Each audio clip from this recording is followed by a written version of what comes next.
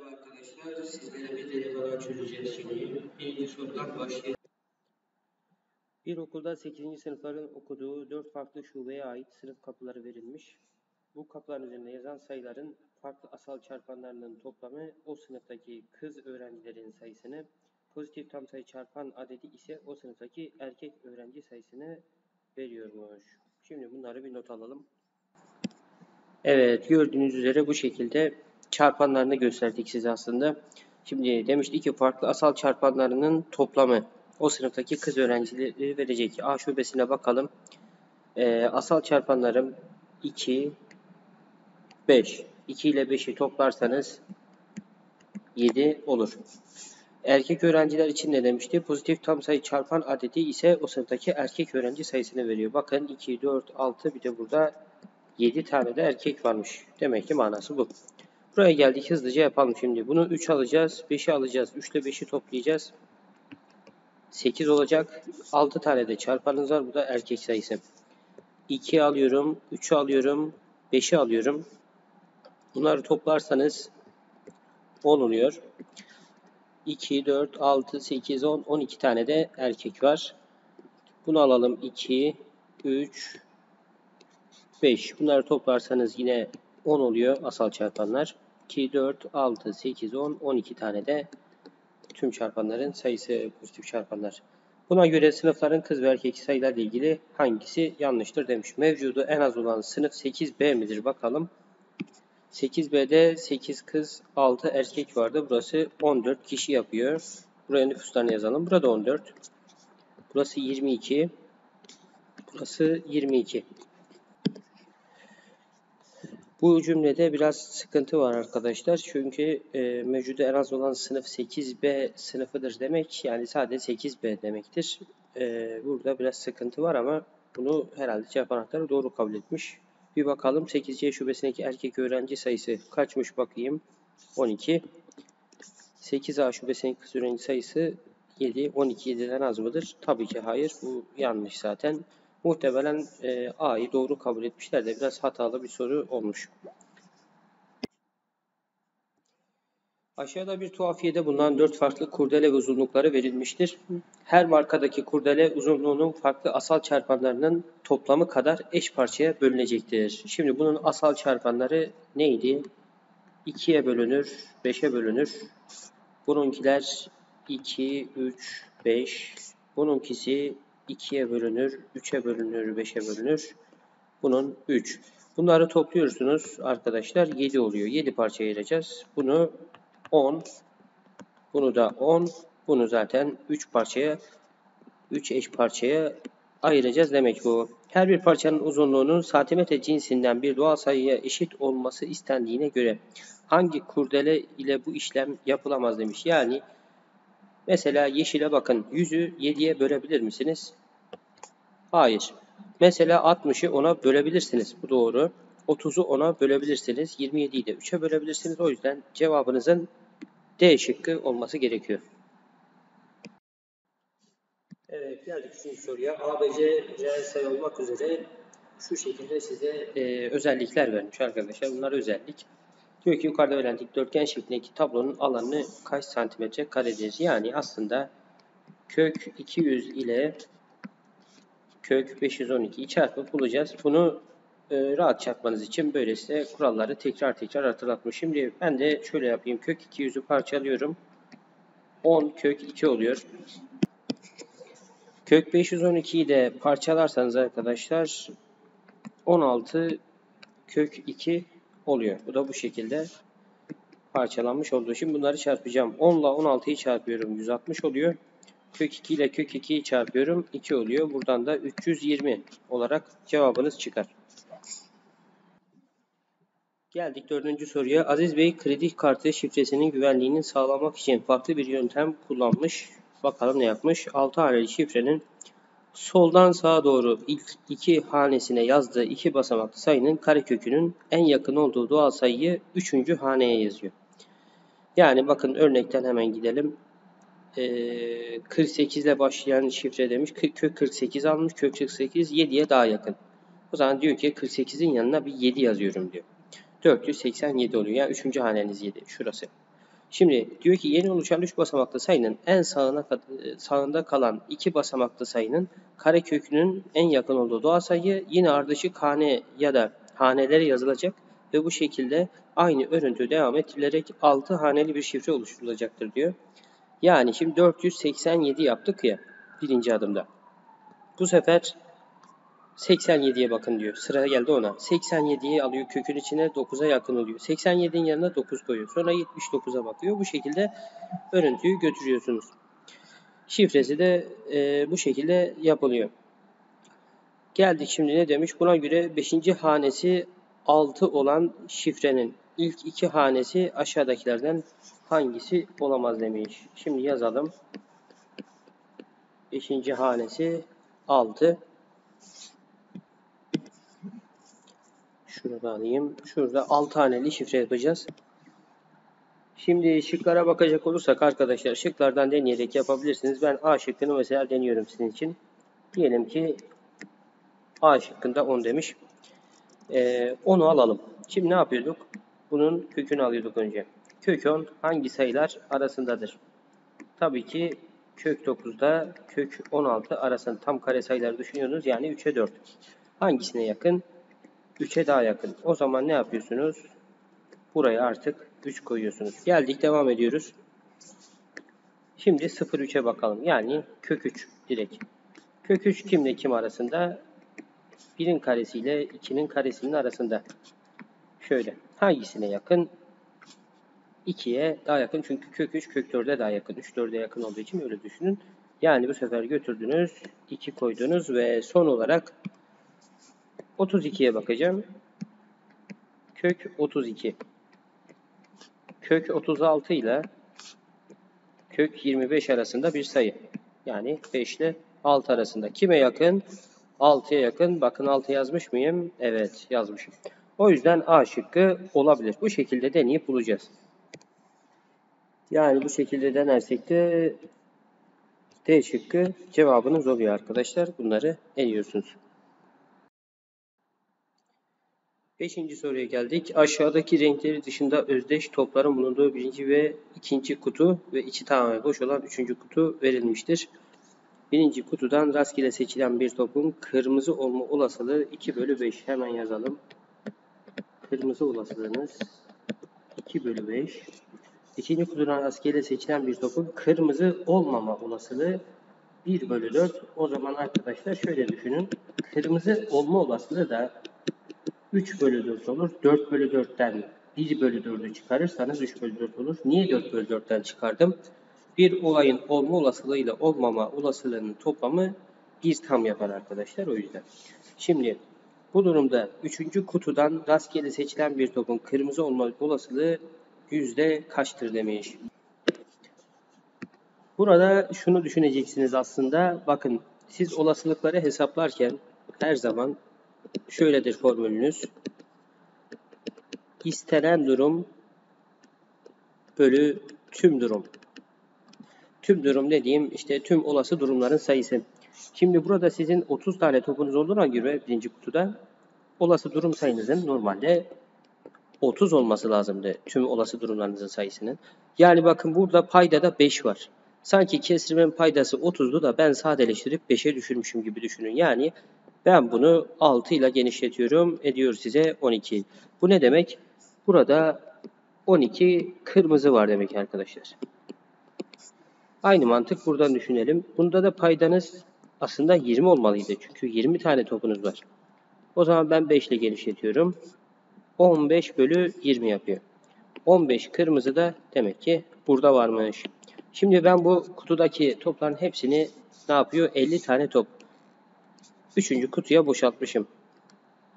Tüm durumum 50. Peki istenen durum ne benden? Kırmızı olmasını istiyorum. 12 ile 15 toplam ne yapar? 27. 27 tane de kırmızı var bu 50 topun içinde. Bunu yüzdeye çevirmemizi istemiş. Ben de 2 ile genişletiyorum. Şöyle bir şey oluyor. Yüzde 54. Cevabınız A şıkkı. Geldik 6. soruya. Yanda kız erkek dağılımı verilen 8A şubesine her cinsiyetten en az bir tane olmak üzere yeni öğrenciler gelmiştir diyor. Son durumda bu sınıftan seçilen bir öğrencinin kız olma olasılığı sınıfta yeni öğrenciler gelmeden önceki erkek olma olasılığına eşittir. Şu anda mesela erkek olma olasılığınız ne ki? İlk durum diyelim. Kaç tane erkek var? 10 tane erkek var. Tüm sınıf kaç kişi? 25 kişi. Olasılığınız sadeleştirirseniz de şöyle olur. 5'e bölün ikisini de 2 bölü 5 olasılığıyla erkek çıkıyordu ilk durumda. Şimdi son durumunuz neymiş? Buna dikkat edin. Kız öğrenci olma olasılığının 2 bölü 5 olmasını sağlamam lazım. Şimdi şöyle düşünelim. 2 bölü 5 kesrini genişleteceğiz bir şekilde gibi hayal edin. Genişletip yeni nüfusu bulacağız. Yani şöyle düşünün. Şimdi benden istenen son durumdaki kız bölü hatta tüm yazmayayım isterseniz sınıf yazayım. Kız bölü sınıf olasılığı. Yani yeni kız sayısını yeni sınıf nüfusunu ona göre belirlememiz lazım. Benim kızların sayısını 2'nin katı şeklinde almam lazım aslında. Ee, şimdi düşünelim bakalım.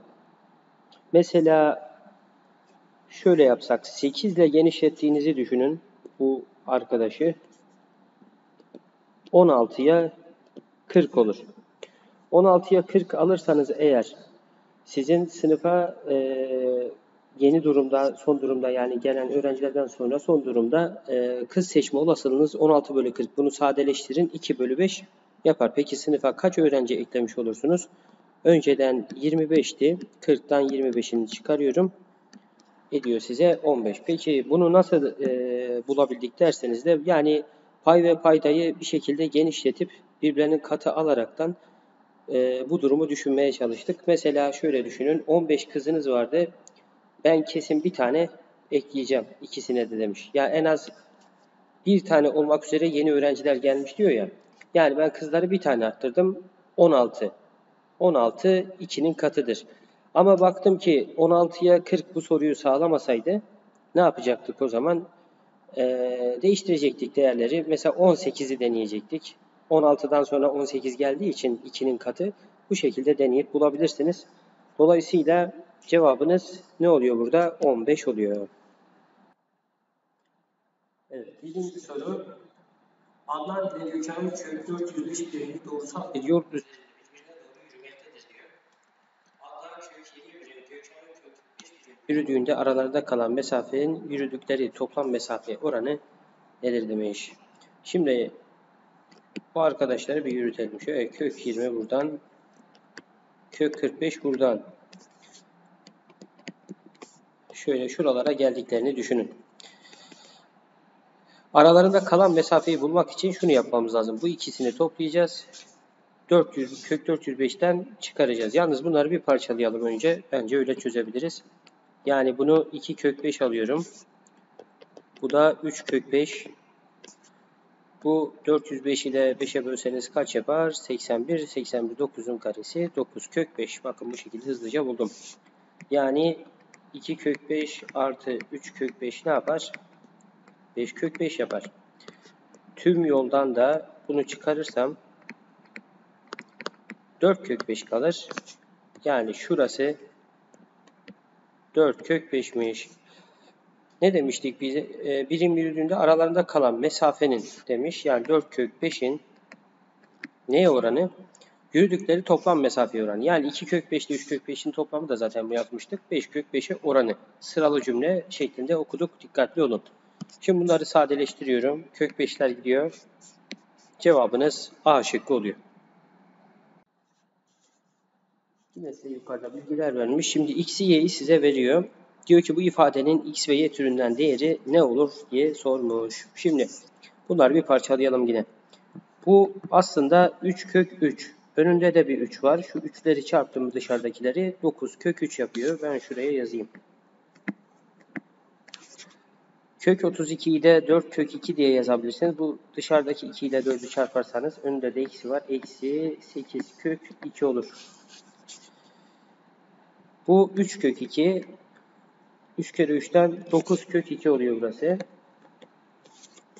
Bu da 2 kök 3 2 kere 2'den 4 kök 3 oluyor burası. Bu arada şuna da dikkat edin. Şu artıyı da içeriye işaret olarak dağıtırsanız burası yine artı olur. Burası yine eksi olur. Bunları bir araya getirelim dedim ki rahat çözelim. Şimdi benzer e, terimler arasında toplama çıkarma yapabiliriz. Yani şu ikisini birbirinden çıkarabiliyorum. 9'dan 4'ü çıkarırsanız 5 kök 3 yapar. Bu arkadaş da bununla benzer. Eksi 8 kök 2 artı 9 kök 2. Yani eksi 8 artı 9. Artı 1 yapar. 1'i yazmamıza gerek yok. Birler gizlidir. Bu şekilde sonucunuzu buldunuz. Şimdi sizden istediği şuydu. X ve Y türünden yazmanızı istiyordu. E X dediğiniz neydi ki? Kök 3. E, o zaman kök 3 yerine X yazıyorum. 5X oluyor. Kök 2 de Y'ye denk geliyormuş. Yani buraya da Y yazıyorum. A'yı işaretliyorum. Dokuzuncu soruya geldik. Ee, bize e, sere dikilen ağaç fidelerini gösteriyor. Burada sayıları yüzde çarpacağız. 60'ı yüzde çarpın 6000 yapıyor. Burası 5000, bura 10000, bura 10000 diyorum pardon 1000. Ee, burası da 4000. Bu şekilde çarpı 100 şeklinde söylüyoruz. Yukarıdaki sütun grafiğindeki verilerde göretilmiş limon ağaçlarının bulunduğu daire diliminin açısı bir bunu bulalım.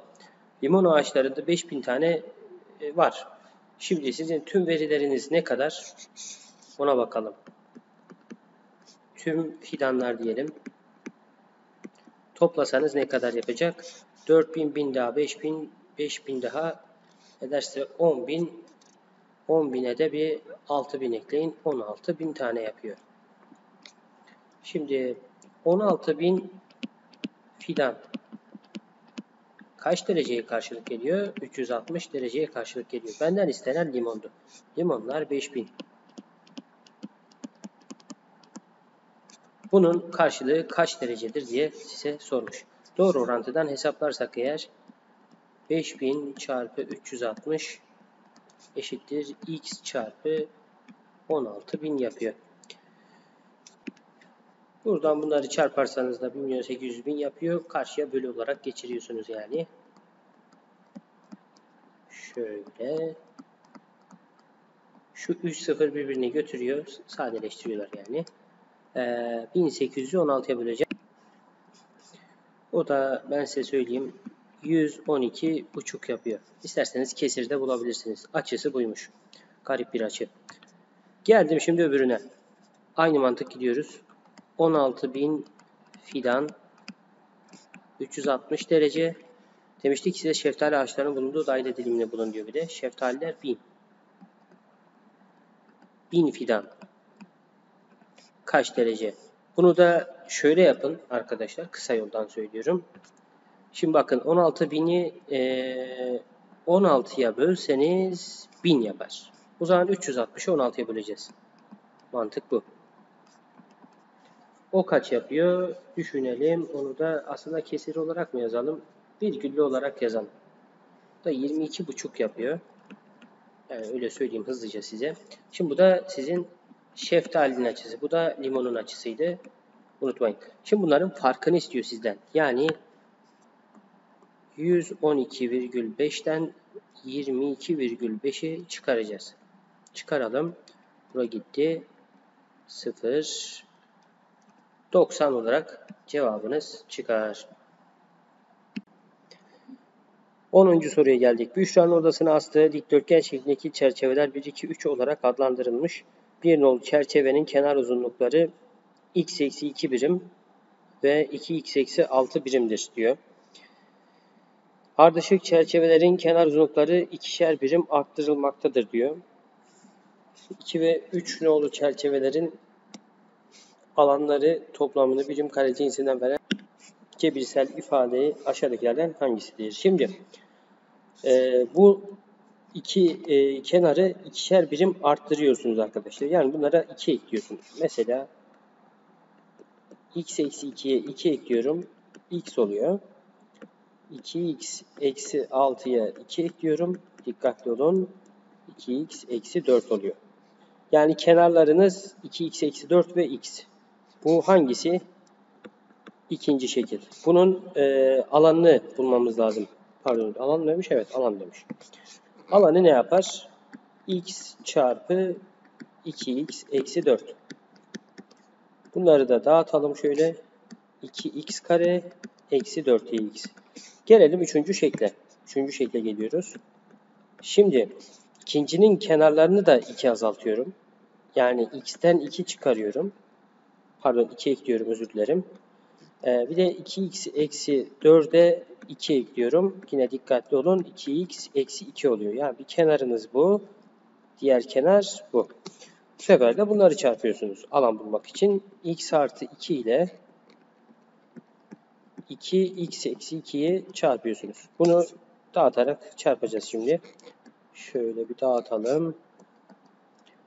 2x kare eksi 2x. Sonra bunları dağıtalım. Artı 4x eksi 4. Ve bunu düzenlerseniz eğer 2x kare artı 2x eksi 4 yapıyor. Şimdi bu üçüncü şekil oluyor arkadaşlar. Bunu bir daha göstereyim. Bu da ikinci şekil oluyor. Dikkatli olun. Ee, bu alanları toplayacaksınız. Bunları da hemen şu altta toplayalım. 2x kare eksi 4x artı 2x kare artı 2x eksi 4. 4x kare olur. Şunları toplarsanız. Eksi 4x ile 2x'i toplarsanız da eksi 2x olur. Eksi 4 de yanınızda kalır. 4x kare eksi 2x eksi 4 değişik oluyor cevabımız. Evet geldik 11. soruya. Arkadaşlar burada bir hedef tahtası var. Buna atış atılıyor. Beyaz bölgeye isabet eden atışlar o dilimdeki sayının karesine e, kadar puan alıyor. Mesela 3'e isabet etti. Beyaz bölgede 3 oldu. E, 3'ün karesini alıyorsunuz. 9 puan kazanıyorsunuz gibi. Ama diyor ki sarı bölgeye isabet eden atışlar o dilimdeki sayı tek ise eksi 3. kuvveti çift ise eksi 2. kuvveti kadar puan kazandırmaktadır diyor. Yani e, mesela 3'ün bulunduğu dilimdeki şura sarı bölgeye geldi diyelim. Bu tek sayı olduğu için 3'ün eksi 3. kuvveti kadar puan alabiliyor. Şimdi biz şöyle yapalım. Beyaz ve sarı bölgeleri tek tek düşünelim. Şimdi diyelim ki 3'e isabet etti. 3'ün karesinden 9 puan alır. 3'ün ee, yanındaki sarıya isabet etti. 3'ün eksi 3. kuvvetinden 1 bölü 3 üzeri 3 yani 1 bölü 27 puan alır. Bu şekilde sistemi kuracağız. Mesela 2 oldu. 2'nin karesinden 4 puan alır. Ama 2'nin bulunduğu sarı yere şuraya isabet ederse çift olunca ne yapıyordu? Eksi ikinci kuvvetini alıyordu. 1 bölü 4 hızlıca yazayım ben size. Bakın puanlarınız bu şekilde oluyor.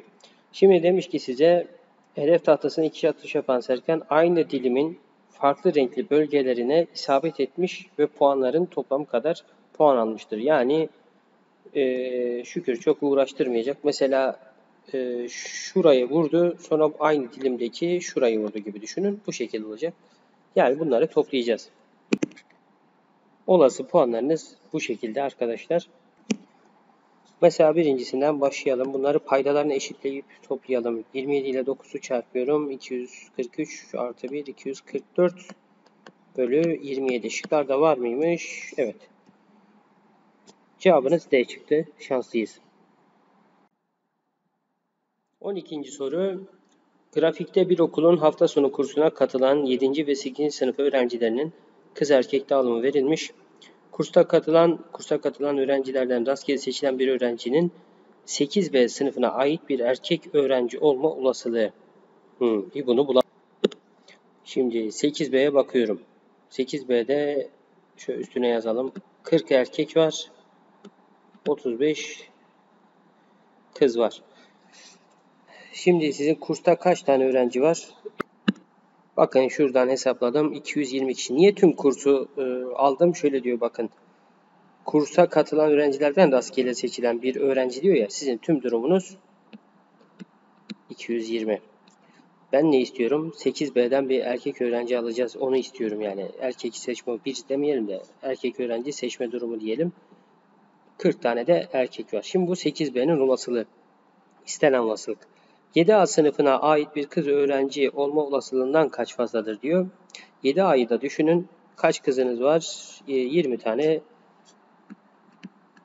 Tüm durum yine 220. Bu şekilde düşüneceksiniz arkadaşlar. Bunların farkını istemiş. 40'tan 20'yi çıkarın. 20 bölü 220. Şöyle sıfırlar gitsin. 2 bölü 22 de sadeleşirse 1 bölü 11 olur. A olur cevabımız. Evet geldik 13. soruya. Salonlarında gördüğümüz e, karmaşalardan bu da 12 kişilik dikdörtgen masa e, burada gözüküyor. Şimdi burada size uzunlukları vermiş sağ olsun üstüne de yazmış. E, şimdi diyor ki bu dikdörtgenin masanın tüm kenarlarından ikişer birim aşağıya sarkan dikdörtgen şeklindeki masa örtüsünün birim kare cinsinden alanda veren cebirsel ifade hangisidir? Bakın masa örtüsü gözüküyor burada.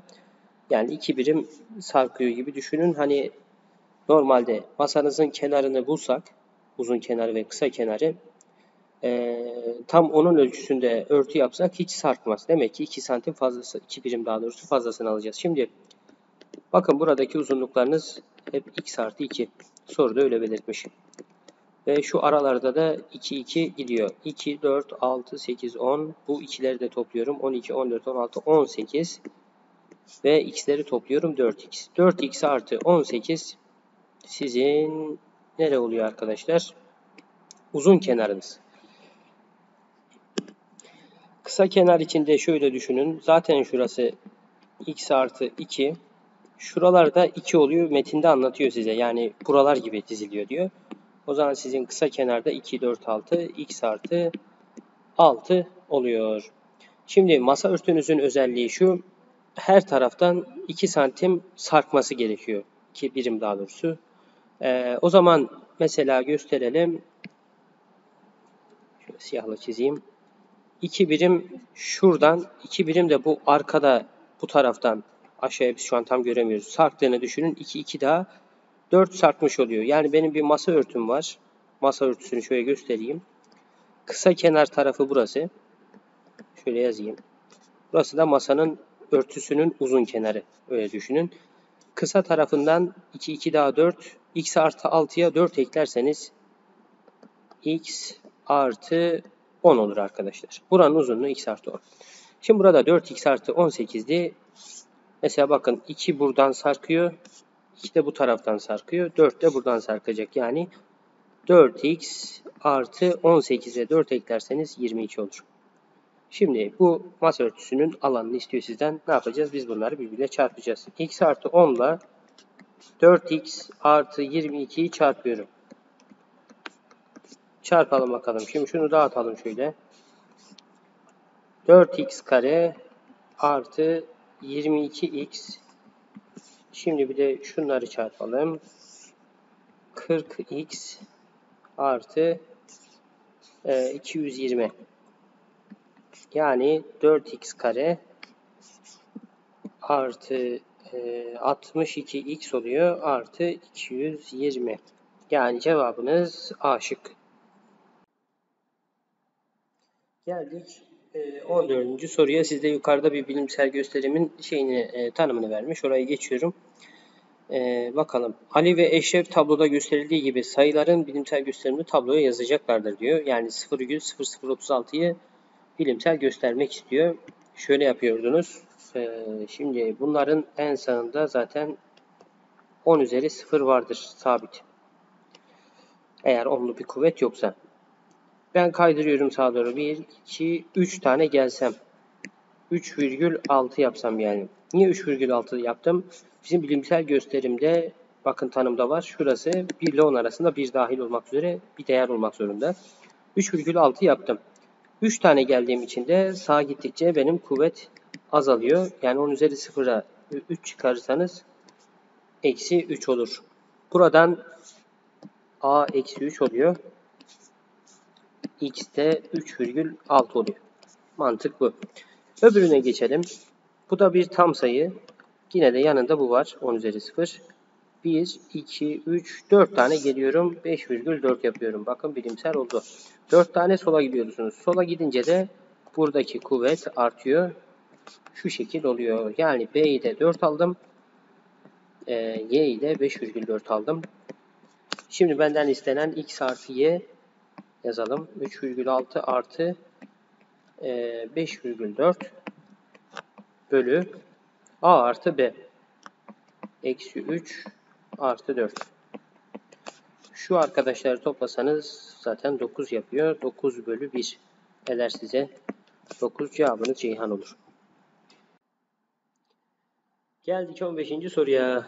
Kenar uzunlukları 3A artı 4, 2A eksi 3 olan mantar pano verilmiştir. Çevresi 4A birim olan özdeş kare not kağıtları asıldıktan sonra panoda kalan alan kaç birim karedir diye size sormuş. Ee, şimdi çevresi 4A ise bir kenarı zaten A olur arkadaşlar. E bu karenin alanı ne olur? A üzeri 2 olur. Alanları içine yazıyorum. Şöyle A üzeri 2, A üzeri 2. Bunlara dikkat edin. Kaç tane var burada? 1, 2, 3, 4, 5 tane. 5 A kare var. Ee, bunu bizim tüm alandan çıkarsak panoda boş kalan e, kısmı bulmuş oluruz. Biz e, tüm alanı nasıl bulacağız? Bu iki cebirsel ifadeyi çarpmam lazım. Çarpalım bakalım. 3a artı 4 çarpı 2a eksi 3. Şöyle dağıtıyorum. 6a üzeri 2. 3a ile eksi 3'ü çarpıyorum. Eksi 9a. Şimdi bunu dağıtıyorum. 4 ile 2a'yı çarptım. 8a. 4 ile eksi 3'ü çarptım. Eksi 12. Yani 6a kare. Eksi 9a artı 8a eksi a yapar. Buradan böyle bir şey geldi. Yani 6a kare eksi a eksi 12'den kimi çıkaracağız? 5 ee, taneydi. 5a kareyi çıkaracağız arkadaşlar. 6a kareden 5a kareyi çıkarsanız bir tane a kare size kalır. Biri yazmıyoruz. Gizli bir. Şu şekilde oluyor. Yani cevabınız A şıkkı. 16. soru. Bir kenar 2x artı 3 Diğer kenar 2x artı 1 olan dikdörtgen şeklinde bir kartonun köşelerinden şekil 1'deki gibi 3'er santimetrelik kareler kesiliyor. Şekil 1'de kesim yapıldıktan sonra kalan parçalar katlanarak şekil 2 üst, gibi üstü açık bir prizma elde ediliyor demiş. Şimdi 2x artı 1'den bakın bir 3 bir 3 yani 6 kaybediyorsunuz değil mi? Artık sizin elinizde bu arası kalıyor. Yani 2x artı 1'den 6 çıkaracaksınız. Ne oluyor birden 6 çıksa? Eksi 5. Yani 2x eksi 5 oluyor. Neresi orası? Şura arkadaşlar. 2x eksi 5. Enlemesine e, diklemesine daha su bu şekilde. Şimdi buraya da bakalım. 2x artı 3'ten 6 çıkaralım ne oluyor? 2x e, eksi 3 oluyor. Ya yani o da burası. Yani şurası. Bu da bura oluyor. Ve bu arada e, bakın şeklin şuraları var. Buralar 3'e 3 kalıyor ya elinizde. Onları da katlasanız şu yükseklik oluyor zaten arkadaşlar. Burası da 3 oluyor. Şimdi elde edilen prizmanın üstünü kenarlarından taşmadan kapatmak için aşağıdaki kartonlardan hangisi kullanılabilir demiş. Ee, ne yapmamız lazım? Ya bu tam bu boyutlarda almamız lazım ya da bundan daha da büyük bir şey, geniş bir şey, kalın bir şey diklemesine, boylamasına bir şey alacağız ki olsun. 2x eksi 3, 2x eksi 5 var mıymış? Varmış. Şunu kullansanız zaten kafi. Ya da bundan daha büyük değerler alacaktınız. Cevabınız A şıkkı. 17. soru. Bir tatil köyündeki otelin oda numaraları aşağıda verilmiş. Bu otelin en az iki farklı asal çarpanı olan odaları dolu olduğuna göre boş oda sayısı kaç demiş. Şimdi asal çarpanlarımızı hemen yazalım. Bakın bu şekilde e, bu sayıların asal çarpanlarını yazdım. Şimdi demişti ki en az iki farklı asal çarpanı olan odalar dolu. Yani bura gitti. Şura gitti, şura gitti, şu da gidiyor, bu da gider. Şöyle götürelim. Ee, ne demişti? Boş oda sayısı kaç? 1, 2, 3, 4, 5, 6. Cevabınız B şıkkı. 18. soru e, oyuncakçıda bulunan oyuncak çeşitlerinin dağılımını vermiş size açılarda. Bir ay boyunca oyuncakçıda bulunan oyuncaklardan oyuncak arabaların %50'si peluş hayvanların %40'ı, eğitici oyuncakların %50'si satılıyormuş. Kalan oyuncaklardan rastgele seçen bir oyuncağın eğitici oyuncak olma olasılığı nedir demiş sizlere. Şimdi bir açıları bulalım önce. Burası 120 derece arkadaşlar. Çünkü buranın tamamı 360 ya. 90'la 150'yi topladım. 360'tan çıkardım. Yalnız bu tarz sorularda şimdi bu daire grafiğinin hepsi hakkında yani tüm verileri hakkında bir gerçek değer yok. E bu parçaların, dilimlerin de hani mesela demedi oyuncak arabalar 30 tanedir falan başlangıçta bunlardan hiçbirinden bahsetmemiş. O zaman ne yapacaksınız? Burası da 90 derece unutmayın. Yapacağınız şey şu. Bunları bu üç açıyı bir kesir sadeleştirir gibi en sade haline getireceksiniz. Yani 90, 120, 150 bunları kaça bölebilirsiniz? Şöyle bir 30'a böleyim hepsini. Bunu 30'a bölseniz 4 olur. Bu 3 olur. Bu da 5 olur. 3, 4, 5. Başka da sadeleşiler mi? Yok. O zaman buraya 4x, buraya 3x, buraya 5x diyorum. Yani 3'ün katı, 4'ün katı, 5'in katı gibi bir şey düşünün. Elimizdeki oyuncak adetleri. Oyuncak arabaların %50'si diyor. %50'sini ee, sattınız diyelim. İlk durum, son durum diyelim. Şuraya araba yazalım en iyisi. Arabalar 3x'ti. Yarısını satarsanız yarısı size kalır değil mi? Peluş hayvanların %40'ı demiş. Peluş hayvanlar, şuraya peluş yazalım kısaca. 5x'ten ne kadarını sattınız? %40'ını satıyorsunuz. Bakın göstereyim. 5x çarpı 40 bölü 100. Şöyle sadeleştireyim. Ne oldu? 2x oluyor. Yani 5x eksi 2x'ten 3x de bunun son durumu. Şöyle gösterdim işlemleri size ayrıntılı. Aynı şekilde e, neydi? Eğitici oyuncaklar vardı bir de. Bunu da yazalım. Eğitici oyuncakları 4x almışım. E bunu da yarısını sattığınıza göre yarısı size kalıyor. Bunu hesaplamaya gerek yok. Anlamışsınızdır. Kalan oyuncaklardan rastgele seçilen bir oyuncağın eğitici oyuncak olma olasılığı ne demiş size? Şimdi kalan oyuncaklarınız bu kutuya aldıklarım. Toplam e, olasılıkta tüm veriniz bunların toplam oluyor. 2x artı 3x şunu düzeltelim. Kötü yazdık. 8 gibi görmeyin. 3x artı 3x bölü 2. İstenen neydi? Eğitici oyuncak. Onlar neydi? 2x. Yani bu kesrin bu oranın değerini soruyor size. Şimdi bunları topluyorum paydaları. 5, e, 10, 13x bölü 2 oluyor. Yani 2x bölü 13x bölü 2 oluyor. Şimdi bu 2x'i bu arkadaşa böleceksiniz. Nasıl bölersiniz? 2x'i aynen alır. Diğerini ters çevirip çarparsınız. Bu formata getirdikten sonra bakın x'ler zaten diyor bunun altında gizli bir var unutmayın. Yani ne oldu? 4 bölü 13 oldu. Cevabınız C şıkkı. Aşağıdaki grafik bir okulda ortaokul öğrencilerinin kulüp derslerine dağılımını göstermektedir diyor. Gitar, bağlama, drama, robotik kodlama şeklinde. Bu grafikteki veriler daire grafiğinde gösterilirse robotik kulübü daire diliminin merkez açısı kaç derecedir diye sormuş. Şimdi bakın burada tüm verileriniz 360'ta denk geliyor yine. Ne yapacağız? Ee, bir gitar kursuna gidenlerin toplamını 12 buradan, 14 buradan, 26 kişi burada var. Bağlamayı da bulalım. 8, 6 daha ne yapar? 14. 12, 18 daha 30. 16, 14 daha yine 30 kişi yapar ve tüm herkesi toplayalım.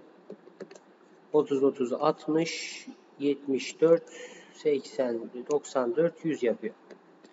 Tam 100 kişi var şu anda elimizde. Sizin 100 kişi daire grafiğinde 360 dereceye karşılık gelecek. Ben nereyi merak ettim? Robotik kodlama. Yani 30 kişi kaç dereceye denk gelir? Bunu düşüneceğiz arkadaşlar. Yapalım bakalım. Yine şöyle çapraz çarpım yapıyorduk hatırlayın. 30 çarpı 360 100 çarpı x oluyor. Yani e, 1080 eşittir 100x. Şurada bir sıfırım daha var onu unutmuşum. Şöyle yazdım. Bölü 100 yazarsanız x'i bulabiliriz. Buradan bakın sıfırlarınız gidiyor. 108 çıktı. Yani neymiş? 108 derece cevabınız C şıkkı. Geldik 20. soruya. Yıllara göre boy uzunluklarındaki değişim kişilerin gösterilmiş. Esra ve Samet'in her yıl sonunda yapılan ölçüm sonucundaki 2010 yılı ile 2015 yıllar arasındaki boyların uzama miktarları veriliyor. Hangileri doğrudur diyor. Hangisi doğrudur? Samet 0,4 santim uzamıştır diyor. Samet'e bir bakalım. 1,30 1,68 Bunların farkını alacağım. 1,68'den 1,30'u bir çıkaralım. 0.38 oluyor. Yani 0.4 santim değil. Yanlış. 2015'te e, ikisinin de boyları eşittir diyor. Bakalım. Eşitler mi? Hayır. Farklı değerlerdeler. Bu da gitti. Esra'nın boyu en çok 2014'te uzamıştır diyor. Esra'ya bakalım. Esra e, burada mesela tek tek gidelim. 2014-15 arasında 0,04 uzamış bu aralıkta. İsterseniz şuraya yazayım. Böyle düşünün. 2013-2014 arasında ne kadar? 0,06 Şu aralığa bakalım. 50'den 54'e çıkmış. Yani 0, şurada 0,4 mi oluyor? Evet. 0,04 ee, buraya geldim. 0,02 Şurayı da yapalım. 0,06 Burada ne kadar? 12 0,12 tabii ki. 30'dan 42'ye çıkmış. 12 uzamış. 0,12 uzamış. Bu da yanlış.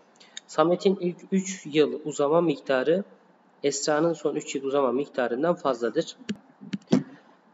Yani bunu da artık hesaplar bulursunuz istiyorsanız. Zaten bu üçünü elediğimize göre istiyorsanız yapmama da gerek yok. Cevaplar bu şekildeydi arkadaşlar. Görüşmek üzere.